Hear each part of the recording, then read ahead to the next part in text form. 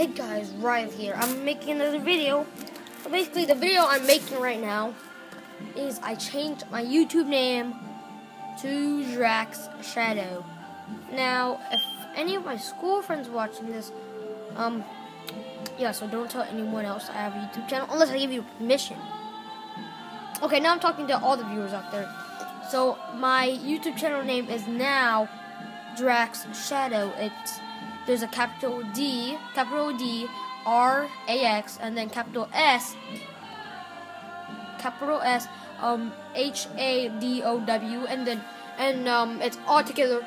So telling you now, I I've made um, my YouTube channel. I've changed my YouTube channel name.